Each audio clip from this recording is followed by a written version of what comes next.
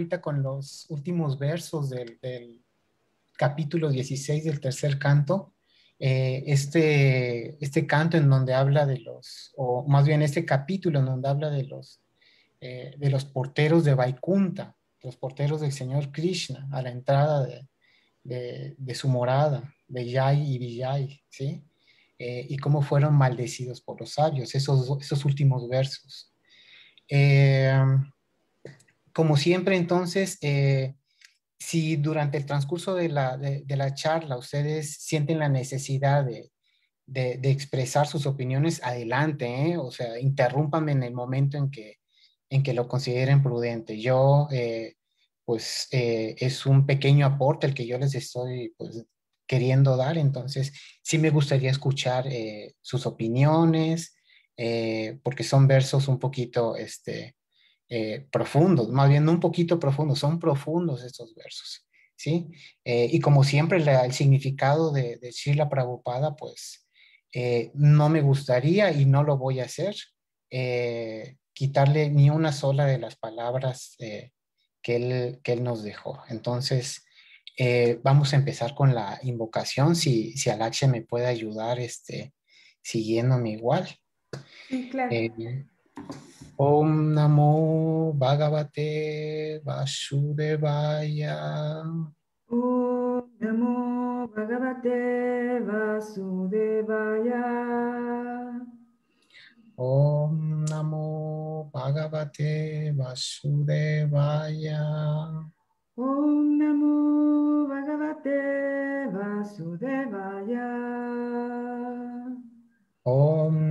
ヤ Bhagavate Vasudevaya. Om Namo Bhagavate Vasudevaya. Bueno, también quisiera ofrecer mis eh, respetuosas reverencias a todos los maestros espirituales, eh, al señor Chaitanya, al, Lord Vishnu, ¿sí? Eh, porque pues sin ellos estaríamos sumergidos en este mar de la, ignorancia. Bueno, entonces la clase eh, se titula La caída de dos grandes devotos, bendecida por el Señor. Aquí lo subtitulé como la misericordia del Señor hacia, hacia todos los devotos. ¿Sí? Bien, antes de, seguir con el, con el tema, eh, sí me gustaría recapitular un poquito sobre eh, este, estos últimos versos o este último capítulo, ¿sí? Recordemos que nos están relatando cómo el señor Brahma eh, está hablando ante sus hijos, ante los semidioses. ¿Esto por qué? Porque pues estaban ellos consternados eh, por la presencia de, una fuerza poderosa, ¿sí? el embarazo de Diti, de estos dos mellizos de los cuales vamos a, hablar, ¿sí? Que habían traído grandes cambios al, al universo, ¿sí? Eh, incluso mencionado por ellos mismos, por los semidioses, eh, que había, eh, había caído el universo en una oscuridad inmensa. Entonces, al ver esta consternación de, los semidioses, el señor Brahma empezó a hablarles y a relatarles cómo empezó todo esto, ¿sí?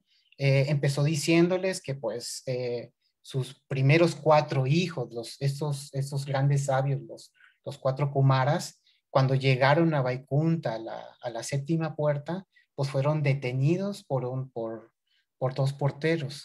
Dos, devotos, dos sirvientes del Señor. Recordemos que son sirvientes del Señor, devotos. Son eh, almas puras, son eh, devotos puros que estaban ofreciéndole un servicio en ese momento al Señor, ¿sí? Y fueron detenidos eh, en esta ocasión por estos grandes devotos y ante la, negación a la entrada de, hacia Vaikunta, eh, como veremos más adelante, no estaban en Vaikunta, estaban en la entrada de Vaikunta, ¿sí? Ante esta negación por parte de los porteros, pues fueron maldecidos por estos, estos sabios, ¿sí? Eh, esta maldición les, les cayó a ellos, eh, les dijo o, fueron maldecidos con el hecho de de renacer o, caer hacia el mundo material, ¿sí? Y más adelante veremos cómo el señor Vishnu eh, pues por órdenes de Él y por toda la, misericordia también de Él, eh, fue que fueron reencarnados o, van a ser reencarnados, como vamos a ver, eh, en, en, entidades demoníacas, ¿sí? Pero esto con un objetivo único del Señor, hacia enseñarnos ciertos, ciertos puntos en una era o en una etapa en la que pues se estaba eh, eh, exclamando el mundo para la presencia de Dios, o estaba necesitando el mundo de esta presencia de Dios. Sí me escuchan, ¿verdad? Sí, se escucha muy bien. Listo. Bueno, vamos a comenzar entonces con el primer, eh, el primer texto, el texto 31. Si alguien me puede ayudar relatándolo. Yo puedo sí. Ah, bueno, ya. Adelante, adelante, por ah, favor. muchas gracias.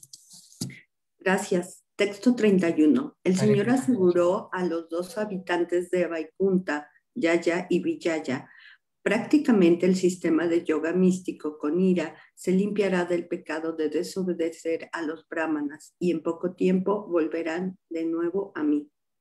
Muchas gracias. Ah, bueno. Eh, no, si quieres léelo, léelo.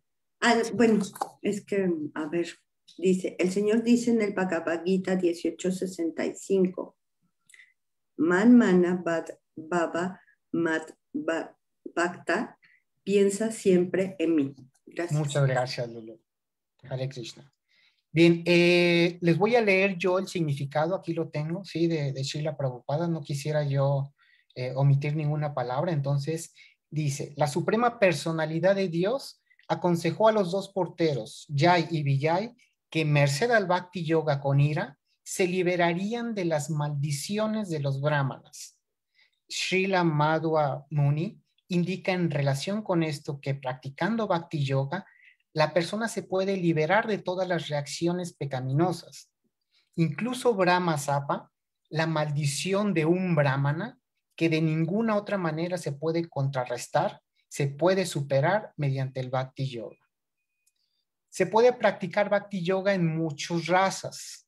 Hay 12 razas, cinco primarios y cinco secundarios.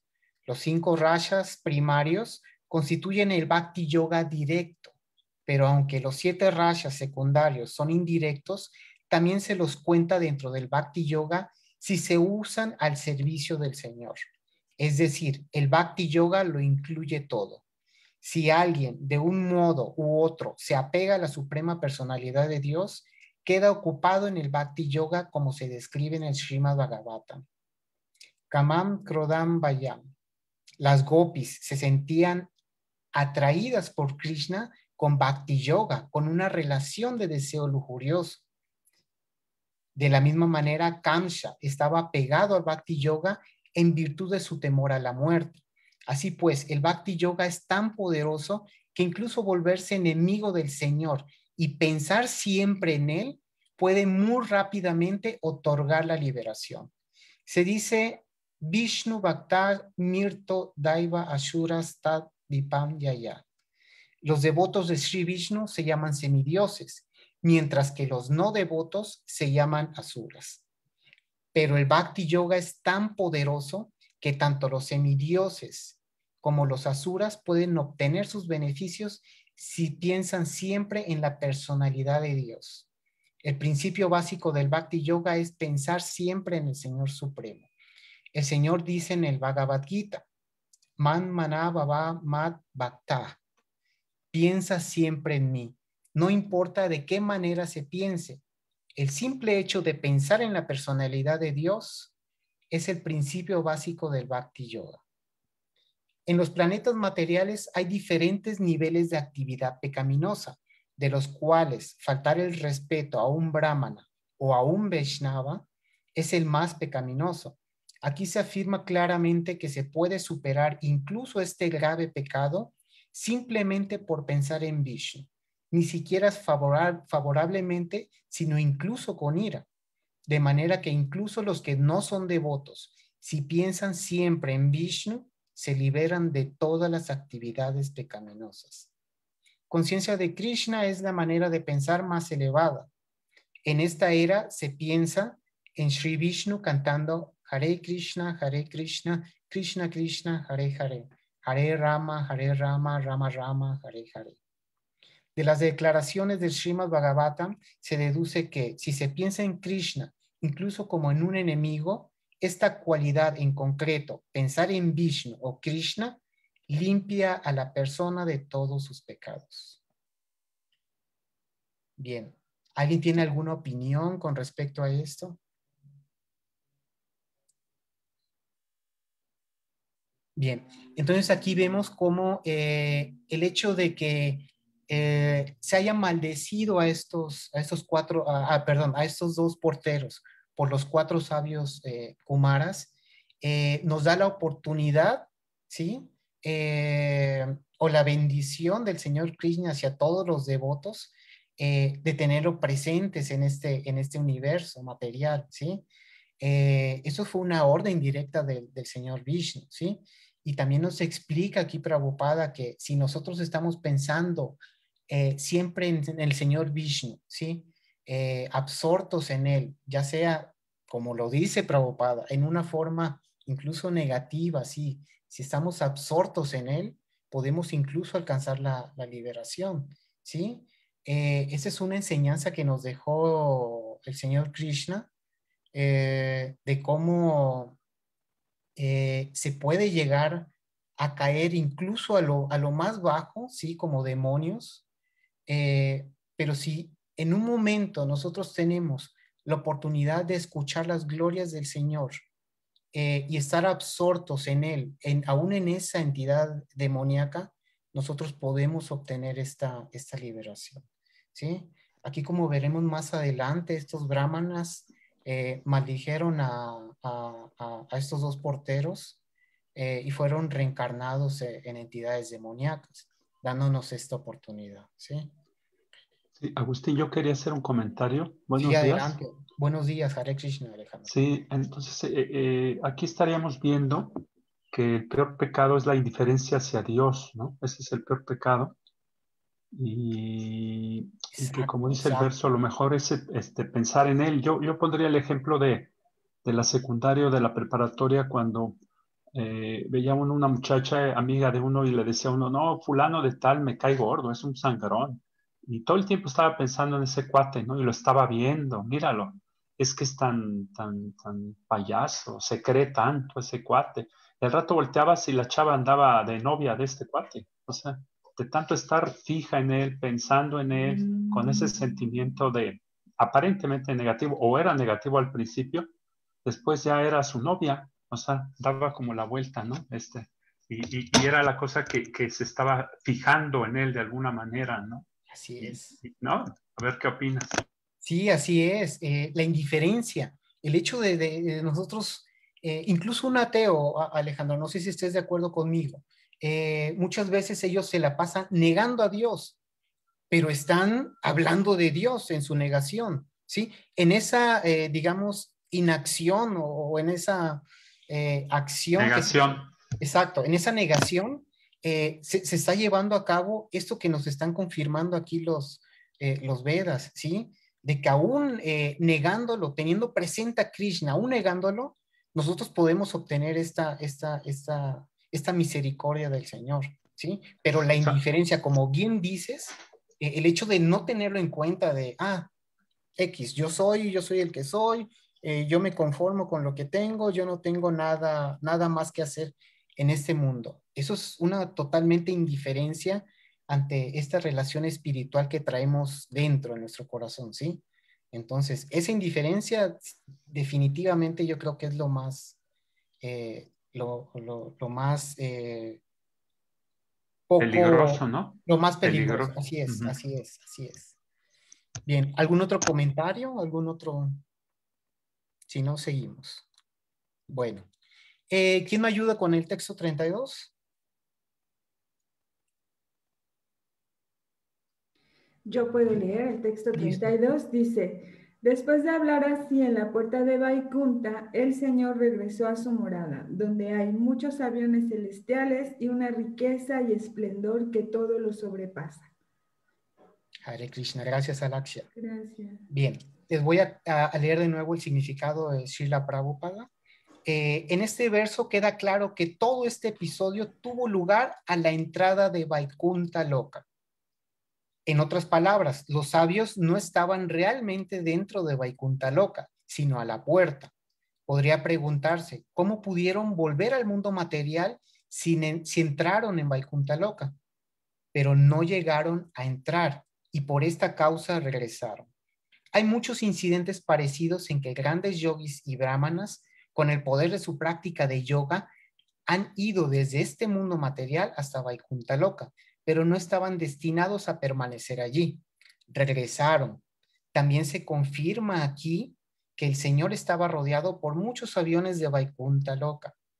Aquí se describe que Vaikunta goza de una opulencia espléndida que supera con mucho el esplendor de este mundo material. Todas las demás criaturas vivas, incluidas los semidioses, nacen de Brahma y Brahma nace de Sri Vishnu. Krishna afirma en el décimo capítulo del Bhagavad Gita, Aham Sharvasya Pravaha.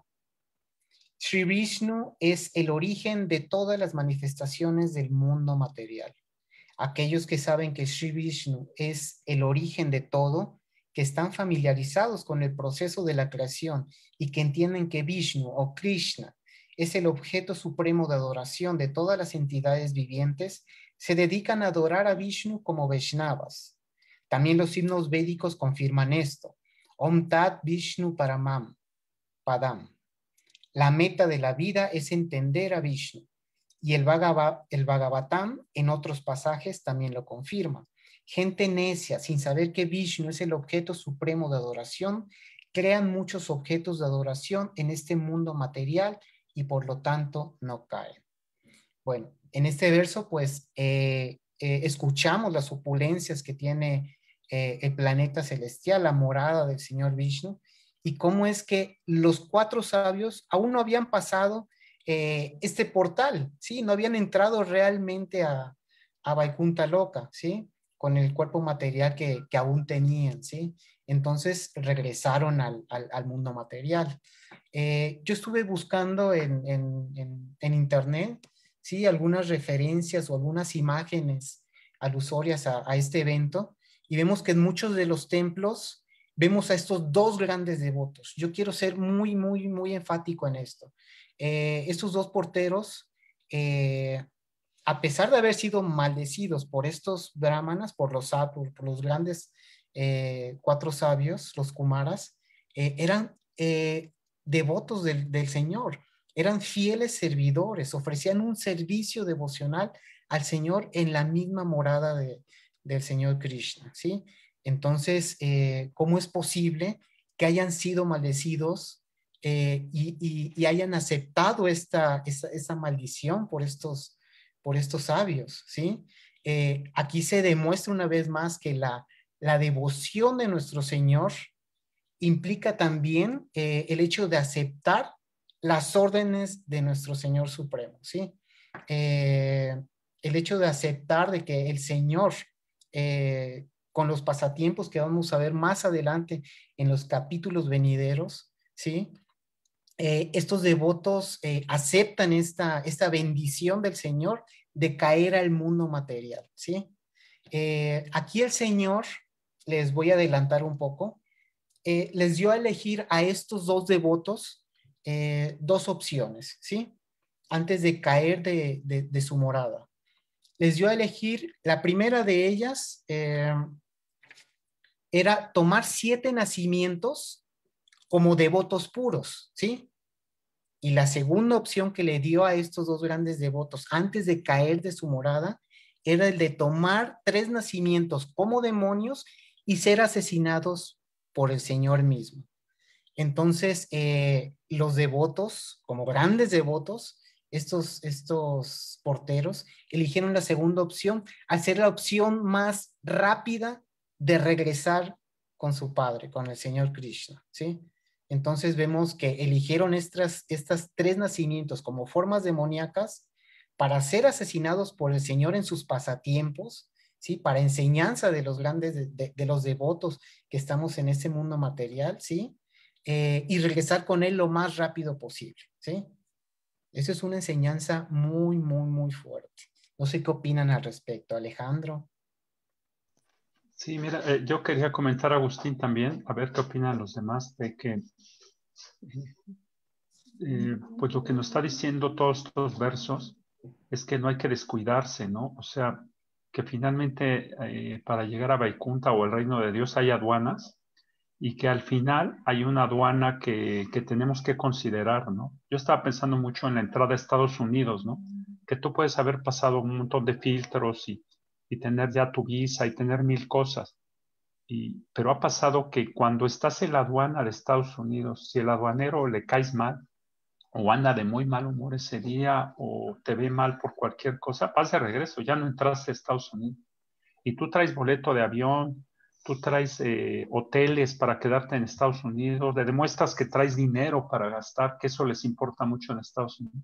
Y hay gente que se ha quedado en, la, en, en, el escritorio del aduanero porque le cayó mal, le habló mal, así es muy peligroso. Cuando vas a Estados Unidos, la parte más, más eh, eh, crítica es cuando estás frente al aduanero. Yo he ido muchas veces a Estados Unidos y lo sé, ¿no?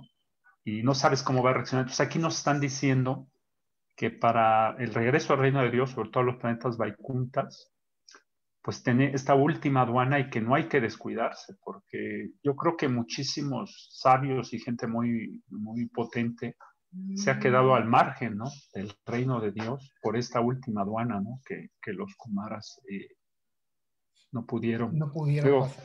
No pudieron pasar. Y también de lo que tú te decías de, de, de regresarlo más rápidamente, claro que sí, pero también ellos se dieron cuenta eh, o platicaron entre ellos de Grina quería hacer un pasatiempo de, de, de luchitas, ¿no? De luchar. O sea, se dieron cuenta, no, pues vamos a complacerlo siendo demonios y que nos mate, porque algo ha de querer el Señor con esto, ¿no? Entonces, Eso lo vamos a ver igual, cuenta, ¿no?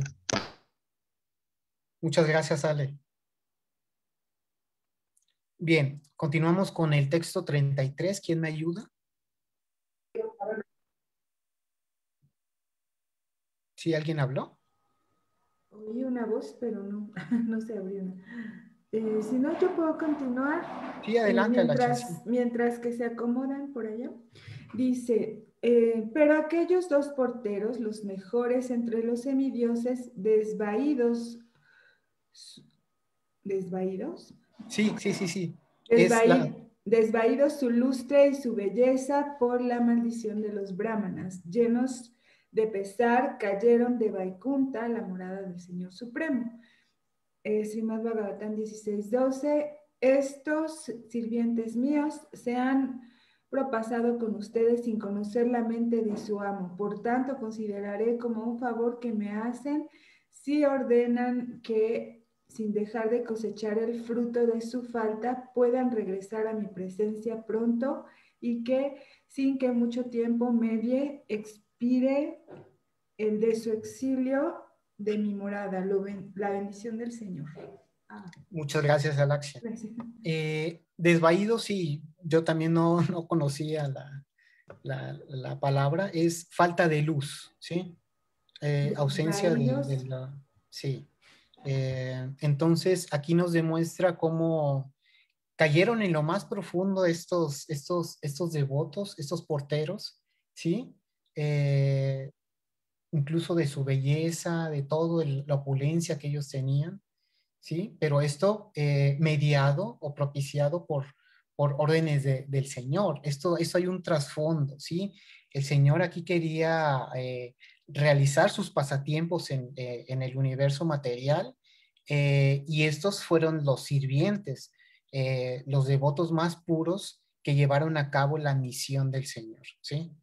Eh, aquí mencionaban en unos textos que vimos anteriormente, en el texto 12, que dice que estos sirvientos míos, aquí Krishna les estaba hablando a los Kumaras, ¿sí? Para tratar de solventar un poquito esta, esta maldición eh, o jugando un poquito ahí con los, con los cuatro sabios, ¿sí? Eh, les pidió a ellos que él, aceptaba la, la maldición que ellos les, les, les hacían a sus, a sus devotos, pero que pedía un favor, ¿sí? Eh, el que pudieran regresar a mi presencia pronto, ¿sí? Eh, y que el exilio eh, de la morada del Señor fuera el menos tiempo posible, ¿sí?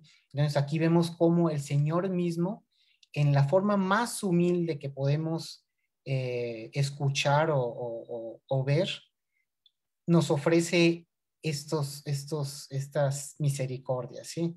Eh, él en su forma más humilde le pide a estos cuatro sabios, aún siendo él la personalidad suprema y Dios todopoderoso, eh, intercede por, interceder por nosotros, ¿sí? Eh, esa es la enseñanza, yo creo que nos está dando este pasaje. No hay una, un significado por Shila Prabhupada, pero sí me, me, gustó mucho este, esta connotación que le, que le fui dando. Bien, como ya les mencionaba, eh, estos devotos cayeron, ¿sí? Eh, en forma de, reencarnaciones demoníacas para complacencia del Señor. ¿Quién me ayuda a leer este, ese texto 34? Este, yo. Gracias.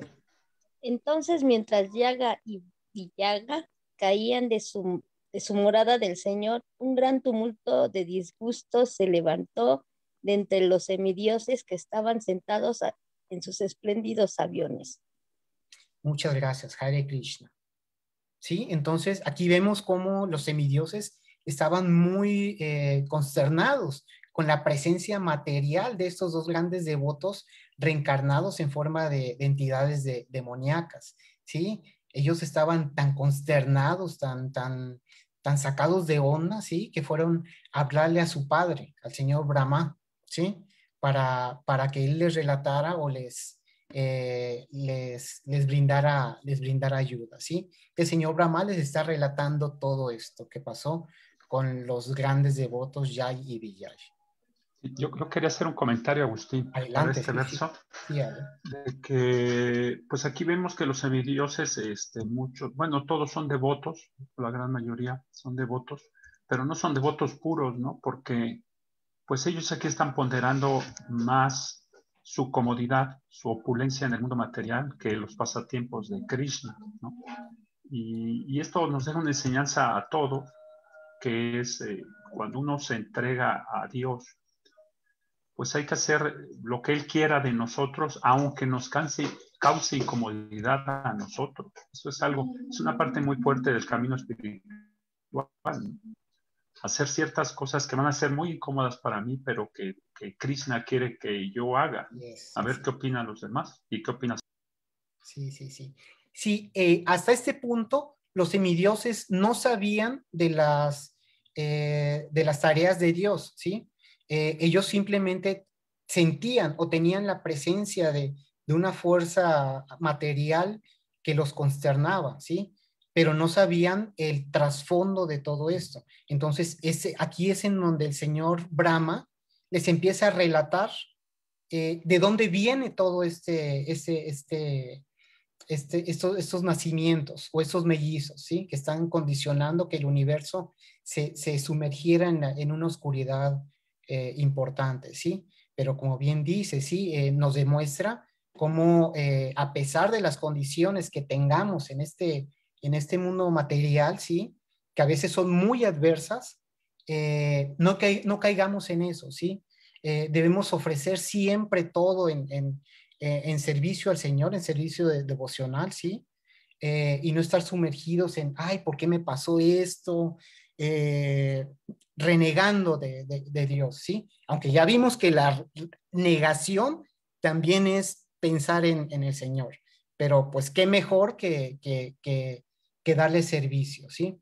Eh, como vimos en, los textos pasados, eh, hay, hay, hay rayas, ¿sí? La forma en la que nos relacionamos con el Señor, ¿sí? Entonces, los rayas primarios son el servicio devocional directo que podemos ofrecer al Señor y es el mejor en el que nosotros nos podemos eh, encaminar, ¿sí? Pero, pues sí, eh, solo para entender el contexto es, eso, ¿sí? Los semidioses hasta este punto no entendían bien eh, cuáles eran las funciones de estos devotos caídos, ¿sí?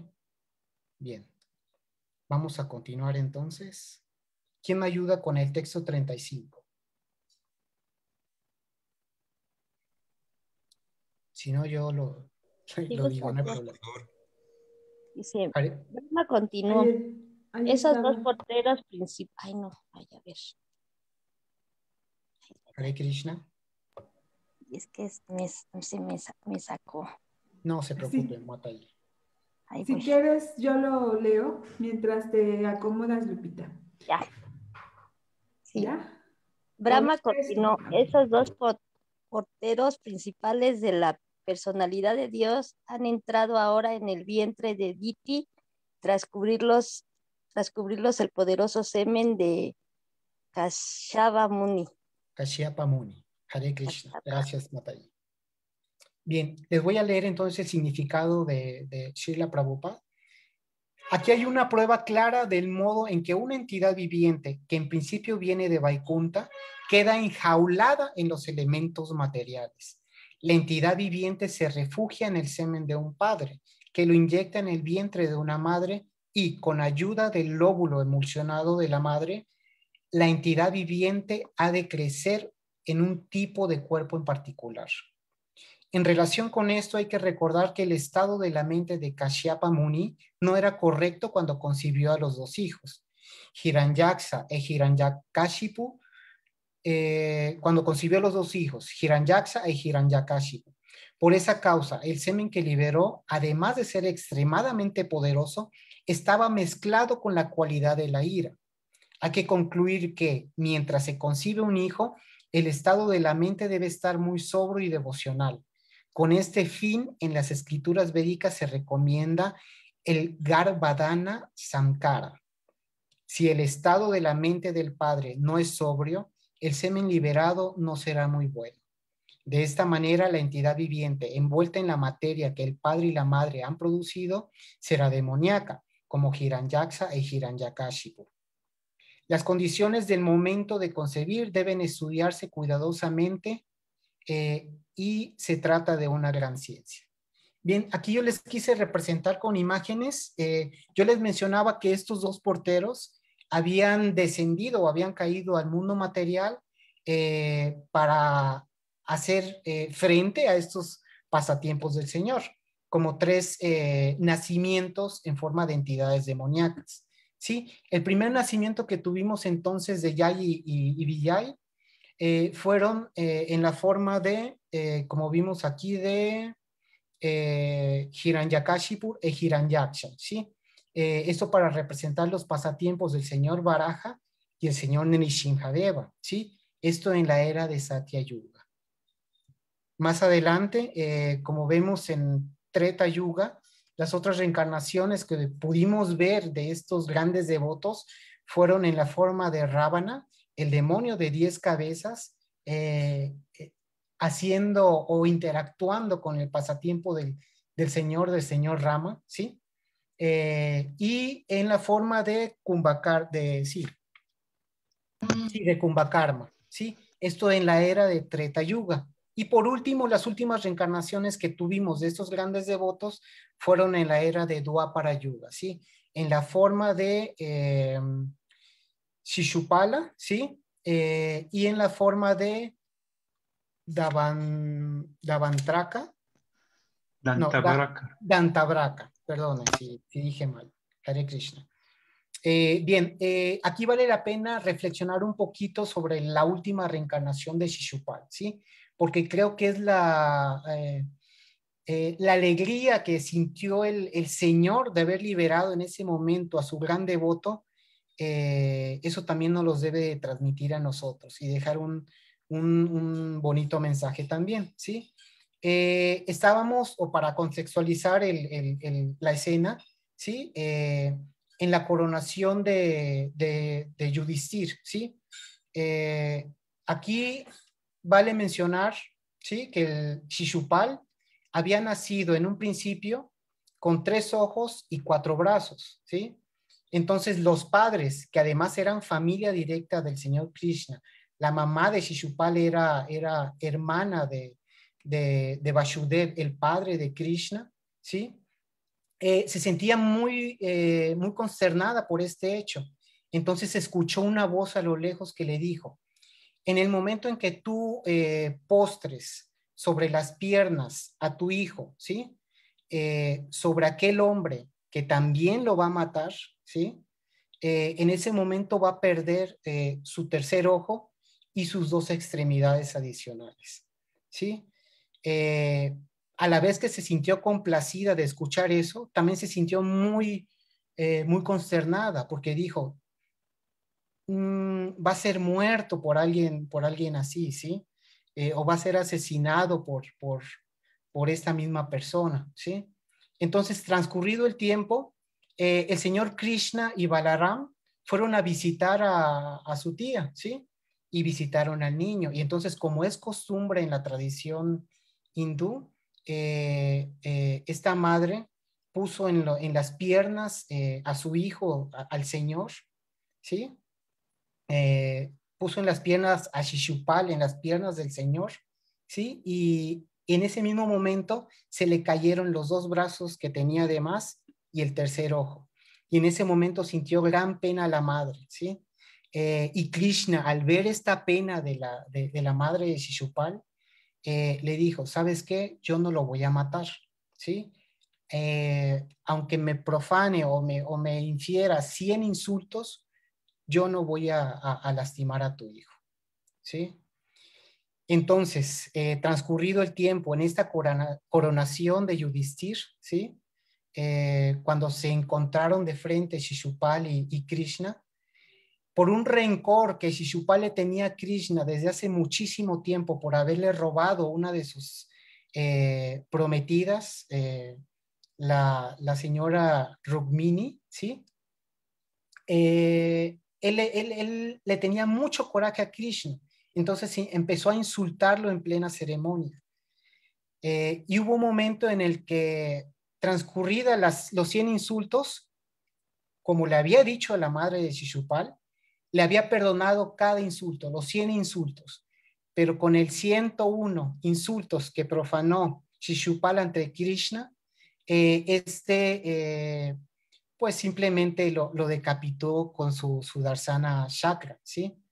Eh, en ese mismo momento se menciona que una luz resplandeciente de la, de la entidad inerte de Shishupal salió de este cuerpo inerte y se depositó a los pies del loto del, del, Señor, fundiéndose con la entidad del Señor Krishna, ¿sí?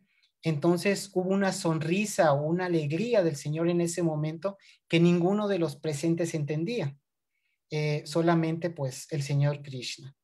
Y esto pues nos habla de cómo eh, con la última encarnación en entidad demoníaca de este, de este gran devoto, el Señor se complació de que regresara hacia su morada. ¿sí?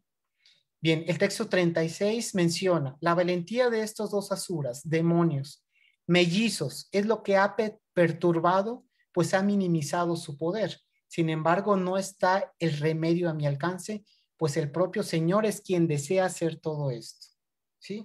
Les voy a leer lo que dice eh, Shila Prabhupada respecto a esto.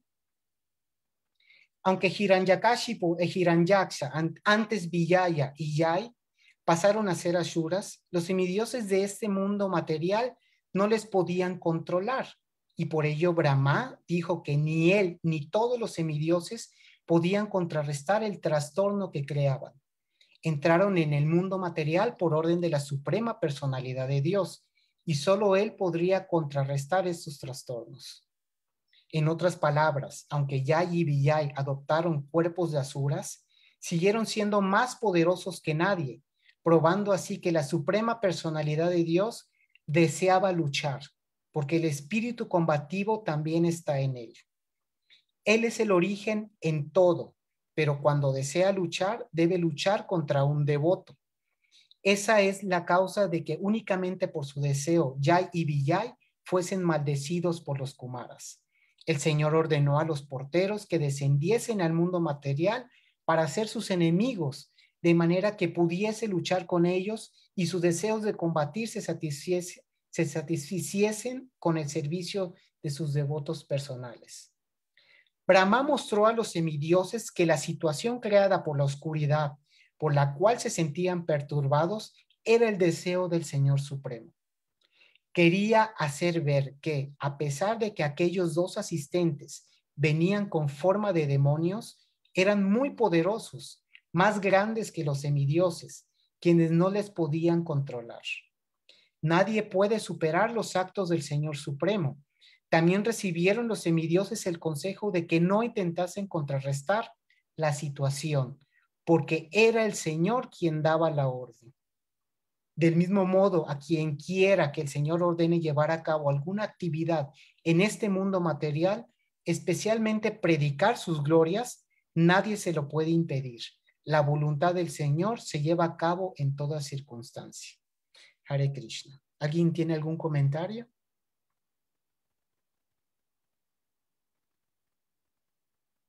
Con respecto a los pasatiempos que, acabamos de ver y adelantándome muchísimo a lo que veremos más adelante. Bueno, eh, vamos a continuar entonces con el último verso. ¿Quién me ayuda? Es el más bonito. ¿Quién se interesa? Listo, Hare Krishna. Hare Krishna. Texto 37. Queridos hijos míos, el Señor es el controlador de las tres modalidades de la naturaleza y el responsable de la creación, preservación y disolución del universo. Ni siquiera los maestros del yoga pueden entender fácilmente su maravilloso poder creativo. Será únicamente esta personalidad de Dios, la personalidad más antigua, quien venga a rescatarnos. ¿Qué servicio vamos a ofrecerle deliberando acerca del tema? Gracias. Hare Krishna. Si quieres continuar. Ah, sí, significado. Cuando hay algo que la Suprema Personalidad de Dios dispone, no hay que alterarse por ello, incluso si, de acuerdo con los propios cálculos, parece una contrariedad. Por ejemplo, vemos a veces que matan a un predicador poderoso o a veces que se le pone en dificultades, como fue el caso de Haridas Thakur. Era un gran devoto que vino a este mundo material para ejecutar la voluntad del Señor, predicando las glorias del Señor. Pero Haridas sufrió castigo a manos del Kashi, siendo, golpeado en 22 plazas de mercado. análogamente, Jesucristo fue crucificado y Prahlad Maharaj sometido a muchas tribulaciones. Los Pandavas, amigos directos de Krishna, perdieron su reino, se insultó a su esposa y tuvieron que sobrellevar, perdón, gran cantidad de enormes tribulaciones. Al ver todas estas contrariedades afectando a los devotos, no hay que perturbarse. Simplemente hay que entender que en esas cuestiones debe haber algún plan de la Suprema Personalidad de Dios. La conclusión del Bhagavatam es que el devoto nunca se perturba con esas contrariedades. Acepta como misericordia del Señor incluso las condiciones adversas. Aquel que continúa sirviendo al Señor incluso en condiciones adversas tiene asegurado el regreso a Dios, a los planetas Vaikuntas. Brahma aseguró a los semidioses que hablar acerca de cómo se estaba produciendo aquella molesta situación de oscuridad era inútil, porque la realidad del asunto era que el Señor Supremo lo había ordenado así. Brahma sabía esto porque era un gran devoto. A él le era posible entender el plan del Señor. Hare Krishna, muchas gracias. Bien. Eh, ¿Cómo dejo de compartir pantalla? Si quieres, yo te ayudo con eso. Gracias.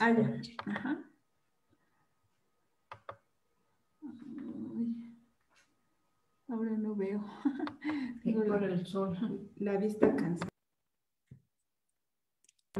Listo. Gracias, Hare Krishna. Bien, eh, no sé si quieran comentar sobre los versos que, que, hemos, que hemos visto. Yo quería hacer un comentario, Agustín. Este último verso resume muy bien lo que yo quería comentar, ¿no? De que pues no es tan fácil hacerse devoto de la suprema personalidad de Dios, porque como yo un día comenté con Alaksha, ¿no? Un poco en broma de que Krishna luego suele llevarse pesado. Pero es que la verdad es que si, si haces un análisis, ¿no? De todo lo que han tenido que eh, aguantar los grandes devotos, pues son cosas muy fuertes, muy fuertes. Entonces, Y todos nosotros tenemos que estar preparados si es que queremos seguir por este camino, porque a nuestro nivel, pues también nos llegan este, dificultades eh, interesantes, ¿no? O sea, dicen que nunca te ponen una prueba que sea, que no puedas pasar, ciertamente, pero sí no, no, no hay que pasar esto por alto, vamos, o sea, decir, no, ya como estoy entregándome, queriéndome entregar a Krishna y así, ya mi vida va a ser sobre algodones, ¿no? Muy probablemente tu vida va a empezar a, tener dificultades y pruebas que uno tiene que, que, aguantar con ecuanimidad. Yo se los digo por experiencia propia y es, es algo fuerte, que hay que estar preparados.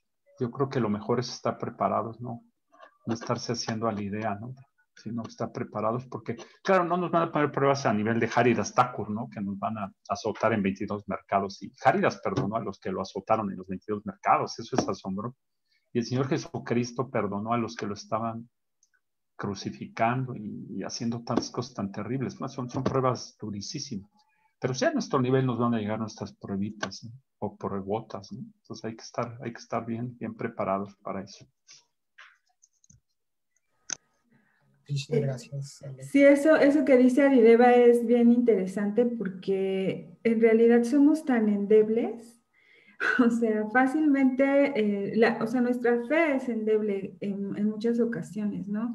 Con cualquier problema que nos es difícil superar, eh, queremos desistir, ¿no? Tirar la toalla. Entonces, aquí el, el tema es eh, en los tiempos en los que las digamos que la vida está corriendo fácilmente, ¿cómo nos vamos a preparar para los momentos difíciles? ¿no? Porque tenemos que tener claro que siempre va a haber momentos de mucha, eh, digamos que bienaventuranza y todo, mucha satisfacción, pero también eso conlleva a llevar, a tener momentos duros, ¿no? Entonces, si nosotros en los tiempos de, de, fáciles eh, no consideramos eh, prepararnos para los tiempos difíciles. Entonces, cuando lleguen esos tiempos, porque sin duda van a llegar, no vamos a tener las herramientas suficientes. Entonces, el trabajar constantemente para fortalecer nuestra fe, tener la claridad de que los momentos difíciles van a llegar y que Dios va a estar ahí con nosotros, que no se nos olvide, ¿no? Que siempre estemos haciendo todo lo necesario para recordarlo, porque en esos momentos de obscuridad no vemos claro la presencia de Krishna, entonces tenemos que estar conscientes de eso y, prepararnos con anticipación, porque en la medida en la que enfrentemos nuestras batallas eh, con la conciencia de que Krishna está ahí con nosotros para, para superar cualquier cosa, entonces esas batallas van a ser más fáciles, pero si no recordamos y se nos olvida, entonces creo que en estos momentos, si estamos pasando un momento fácil, hay que orarle mucho a Krishna para que en esos momentos difíciles no nos olvidemos de él, ¿no? Y que siempre haya devotos que nos recuerden, que siempre esté el Mahamantra presente en nuestra vida, no sé, porque si no, es como muy sencillo, ¿no? De repente llega una tormenta o una pequeña lluviecita y ya dices, ay, no, no, estoy sola, este, esto, este proceso no sirve, no, me, no, no quiero a Krishna, no quiero a, a nadie, no quiero a sus devotos, ¿no? Podemos caer fácilmente en eso. Sí, yo creo que nos pasa mucho lo que le pasó a los semidioses ¿sí? Eh, estaban muy consternados, pero no, no sabían el, trasfondo, ¿sí? De, de las acciones de, del Señor. Entonces, tener en cuenta eso, que, eh, que aún en las adversidades que tengamos, pues eh, siempre va a haber un trasfondo, ¿sí? siempre va a haber algo más, por lo cual estamos padeciendo en ese momento, ¿sí? Ya sea nuestro, nuestro karma por vidas pasadas, ya sea por eh, la misma predisposición eh, eh, que tenemos o, los deseos mismos del Señor, ¿sí? Para enseñarnos algo. Entonces yo creo que no queda más que cantar el santo nombre entonces y, y estar este, absortos en, en, Dios. Sí, Lulu. Hare Krishna. Sí, muchas gracias Agustín por la clase, muy interesante. Eh, coincido plenamente en que esta habilidad de ser resilientes, que es parte de las habilidades que se desarrollan dentro del contexto de la inteligencia emocional, esta capacidad de ser resilientes en la vida, de, enfrentar las adversidades y no solamente enfrentarlas, sino encontrarles sentido y encontrarles eh, potencial, ¿sí? Eh, solamente es posible desarrollarla cuando, cuando hay esa fe, ¿no? Como dice Alaksha, cuando hay esa confianza y, y lo que tú dices de que tienen un sentido en término trascendente en nuestra vida y que además tenemos como, como un pilar, ¿no? Tenemos un acompañamiento que está ahí y que solamente nosotros tenemos que hacer lo que nos corresponde, que es asumir la, adversidad, aprender de la adversidad, ¿no?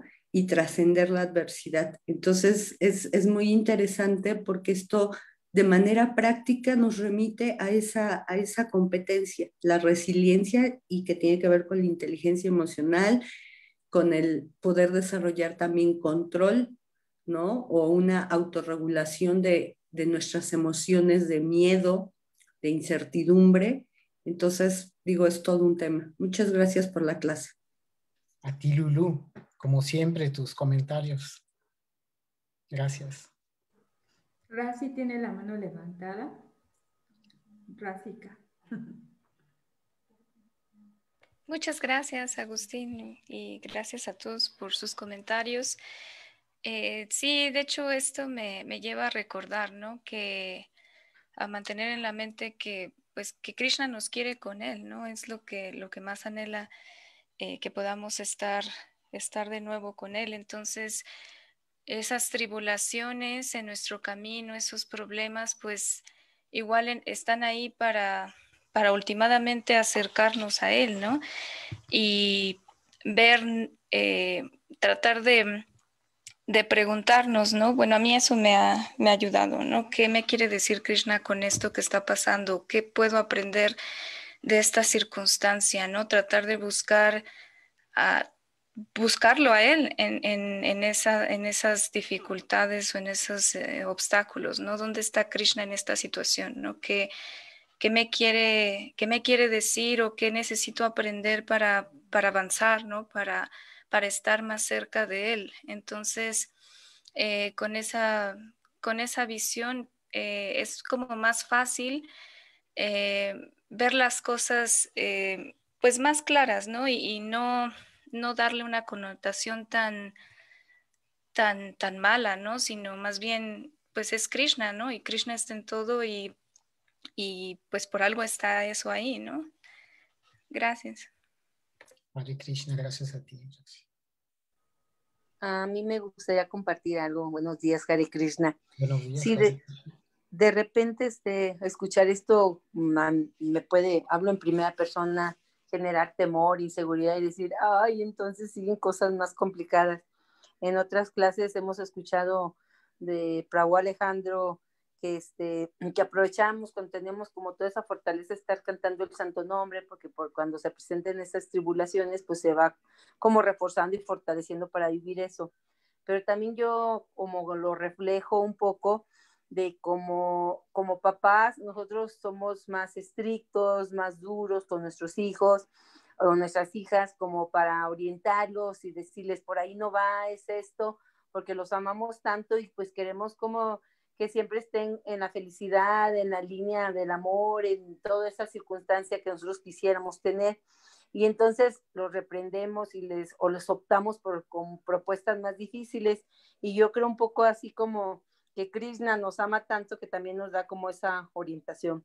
Y pues como también se ha dicho mucho, el amor de Dios no es barato. Entonces, este, tenemos pues que sanar y limpiar todo lo que traemos, que hicimos en este instante o en nuestros instantes. Y pues yo creo que por ahí que seguir asociándonos con devotos como ustedes y doy gracias por este instante y seguir cantando el santo nombre de Dios. Pues muchas gracias, Agustín Los elementos que nos compartiste fueron muy enriquecedores y todo lo que han comentado las compañeras y los compañeros de este grupo, pues nos han reforzado y nos hacen como seguir en el día, en esa reflexión, como para ir interiorizando, ir saneando, o por lo menos ir un poquito teniendo conciencia de esto. Muchas gracias, Hare Krishna, es el mejor día para todos. Bendiciones. Hare Krishna, bendiciones.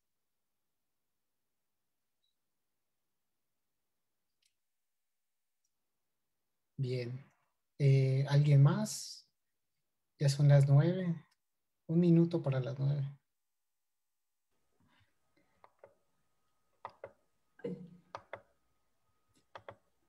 Ah.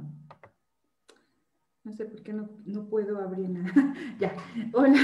Gracias, Agustín. Más nada nos, nos resta entonces, si no hay más comentarios eh, de tu parte o de parte del grupo, agradecerte por la presentación, eh, muy eh, inspiradora, interesante. Yo creo que siempre nos quedan puntos a reflexionar y sobre todo es saber o meditar en de qué manera vamos a tratar de ver a Krishna en todas partes, ¿no? Como decía Rasi, me gustó mucho que, dijo esta pregunta, ¿no? ¿Dónde está Krishna, no? O sea, si vamos, estamos en alguna situación complicada, no olvidar esta pregunta, ¿dónde estás?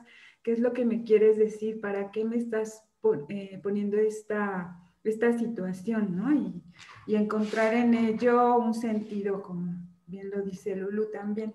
Y bueno, pues gracias, Agustín. Y, sabes, y saben que, que también a veces, a veces a lo mejor nos cuesta trabajo decir dónde estás, pero decir, ok, frente a esto, yo me siento pequeña, siento que a lo mejor no tengo los recursos o las habilidades para salir adelante, pero no me preocupo porque tengo a Krishna y él sí puede con todo, ¿no? Entonces, ese, ese, ese también puede ser algo muy lindo de, de, trabajar en nosotros, o sea, saber reconocer que a lo mejor hay cosas tan complejas que somos limitados para saber resolverlas, pero que si nos entregamos y nos refugiamos en sus pies de loto y en su amor, vamos a poder, todo se va a acomodar, ¿no? Entonces, gracias.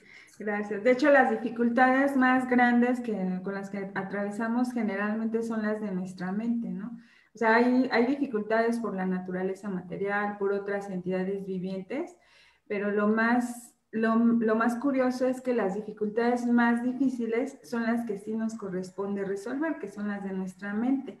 Entonces, para esto está siempre la ayuda de Krishna, ¿no? Porque si tienes dificultades, vamos a decir, materiales, que no sé, que se vino un huracán y se llevó la casa, pero si tu mente está conectada con Krishna, lo vas a poder superar fácilmente, ¿no? Pero si se te cayó una uña y te duele y no, y no estás conectado con Krishna, pues te vas a morir porque se te cayó una uña. Entonces, hay que, hay que visualizar eso, ¿no? Entonces, sí. Y muchas gracias, Salaksha. gracias. Bueno, eh, Agustín, ¿quieres añadir algo más? No, agradecerles de nuevo por la confianza y pues el espacio. Gracias, gracias a todos, gracias por escuchar, por estar y nos vemos mañana. Me parece que Stribas tiene algo preparado, sí es cierto, ¿verdad? ¿O no? ¿Viene el, calendario Stribas? ¿Andas por ahí? Hoy, bueno, si no, al ratito les avisamos. Muchas gracias, un abrazo, bye. bye. Gracias. Buenos días. Hasta mañana. Hasta mañana. Bye. Gracias.